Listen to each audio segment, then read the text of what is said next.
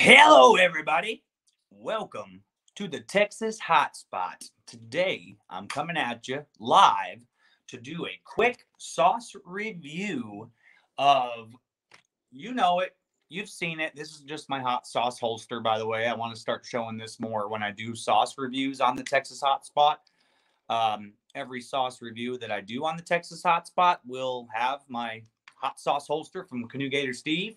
Go check them out at hotsauceholsters.com. I believe that's the website. Um, if not, just Google hot sauce holsters and you'll find Canoe Gator Steve. Great guy. He makes the best hot sauce holsters, and I love them. You can sn- um, snip them onto your belt buckle or your belt loop. I mean, and he also makes like bandoliers for different hot sauces, and I think he makes little tink holsters for your tinctures. But he was awesome. Made me my own little hot sauce holster here. Premium leather, burnt in, burnt in. Uses actual paint to paint the colors in. He, he takes his time. He's a really good. Um, what's up, mom? What's up, Ryan? And what's up, Ot Lang? Ot Lang's in here. So yeah, we're just doing a hot sauce review. This is Steve O's from Jackass hot sauce for your butthole. That's what it is. It's it's the Steve O's hot sauce for your butthole. so we're going to be doing the hot sauce review of Steve O's hot sauce for your butthole. You can find it online if you want. I think Amazon has it for a little bit. Um, and of course, I do have my own Texas Hot Spot tasting spoon. Uh, it's a per- pearl spoon. A lot of people say to get that pearl to taste it better, you don't want the taste of metal in your mouth with the metal spoon. So I have a nice tasting spoon here so I can taste the actual sauce. A lot of people say this is their favorite sauce. I have about two or three friends that tell me um, that this is their favorite hot sauce, which is unbelievable. So we're going to try it here today. I got the um, seal here. So, anyways, not to promote Jackass or anything, but Jackass 4 the new one is coming out in October. Uh, I don't know this whole Delta variant, they're still doing that, but uh, it's supposed to be coming out uh, in October. Jackass 4, it's got Steve O and all that stuff in it. But look, man, this is a, this is not my favorite thing about sauces is the seeds. Okay. Whenever I make a sauce, I try to remove as many seeds as possible whenever I make a sauce because I like to have my sauce seed seedless. But some people like to leave the seeds in. A lot of people say that that's where the spice is. That's where you get your spices from the seeds. So, you know, sometimes it does the sauce justice. Sometimes it makes the sauce just gritty and nasty, but we're going to try it out. So, the ingredients of this are actually pretty simple. You can't read them, but I'll read them for you. Uh, just water, habanero, and Naga Jolokia chili peppers. Naga Jolokia is like a ghost pepper. That's just the scientific name. So, it's got ghost peppers in it. It's got carrots, sugarcane vinegar, salt, onion, garlic, lime, acetic and citric acids. Xanthan gum is just to thicken it up, got a thickener in it, and uh, ascorbic acid. It's an antioxidant. So let's give this thing a, a good shake again. And like I said, you can go find this on any Amazon website. Oh, it smells delicious, actually. I wasn't expecting that. I'm getting a very good garlic, vinegar, and a little bit of pepper in there. I can smell all those peppers, those blended up. I can smell those blended up peppers, but the image on this is killing me, man. It's uh, you know, it's Steve-O, and he's got a firecracker up his ass because that's just what Steve-O does. Um, and it's hot sauce for your butthole. So let's try.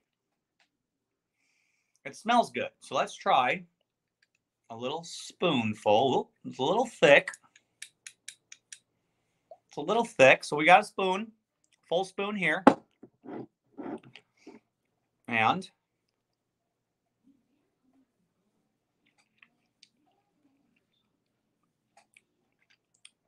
Ooh. It's very vinegary. I'm hit with vinegar. Almost kind of like a sour almost kind of like a sourness because they used a lot of vinegar in that, but it's got a good garlic t- taste to it. You could definitely, there's a little bit of spice in there. It's not too bad. but it's really yeah. Let me try another one. It's kind of sour right away because it's it's got you know it's a high vinegar content sauce. So let's try it again. Now you're getting chunks. Chunks. I believe it's garlic, the seeds, some pepper in there, some pepper chunks. It's a chunky, thick, vinegary hot sauce. Has a good has a good pepper flavor to it also. Kind of brings up the back. But you're hit with vinegar right away. Um, that's what you're getting. It's a very it's a commercial hot sauce. Usually commercial hot sauces have a lot of those preservatives and vinegars to, to keep it on the shelf a while. It's not bad. It's not the best sauce I've ever had. I won't I can't be like my friends and say this is one of the best sauces I ever had. Um I think Mike Jack actually did put this in his backside. Oh my god, someone actually put this in his in their butthole. You came to the wrong place if you saw if you think I'm putting this in my butthole. Not doing it. I mean, it says hot sauce for your butthole. Not gonna do it, man. I've already put it in my mouth and I can tell it's spicy.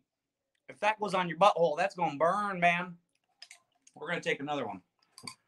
We're gonna take one more spoonful of this. It's good. It's not bad. It kind of has the consistency of a almost like a Asian sweet and sour sauce. You know what I mean? It's chunky. I'm getting chunks of garlic, pepper, maybe onion, carrots. Definitely some carrots in there. Getting chunks of carrots. You're getting chunks of everything that it says in the ingredients. You're getting chunks of it.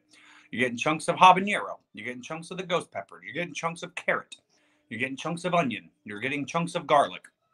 You're even getting little pulp from the lime that they put in there. It's it's good.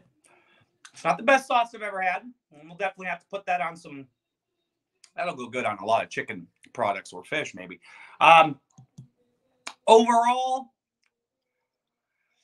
on my scale, I'd give it like a five or a six, maybe being nice, giving it a six, but I'm going to give it a solid five. Uh, five out of 10 on flavor, only because when I took that first spoon, I was hit with vinegar uh, right away. It's kind of sour, and I don't really like vinegar sauces that much. I like a pepper forward sauce. I like to taste the peppers in it. Um, so, but the consistency was thick, and I'm not a big fan of that either. So I'm gonna say on the the consistency and mouthfeel, really just I'm gonna say like a three out of ten. And the spice was just like honestly, it's a zero out of ten for me. It doesn't really have that much spice to it, but my my tolerance was a little higher than most. I'm sure if any regular person out there that does it's not a chili head would go buy Steve-O's hot sauce for your butthole, uh, it would be spicy for you. It's got ghost peppers and habanero peppers in it, so it would be spicy for you. But it's it's got a very, very, very vinegary forward taste. And then and then you get to taste all the rest of the ingredients after you get past that vinegar. So go check it out, guys. I mean, you can find it on Amazon. You can find it probably other lots of other places. Steve-O's hot sauce for your butthole. Support the man. Steve-O's a great man. You know, he had his demons and he got out of his demons clean and sober. Got his own podcast. Um, I support Steve-O, man. So that's why I bought his sauce. If you support Steve-O and the Jackass team, go check it out. It was only like eight dollars. It really wasn't expensive at all. So that's all I got for you today. I appreciate you guys coming by, and checking it out. Uh, Steve-O's hot sauce for your butthole. We will catch you on the flip side.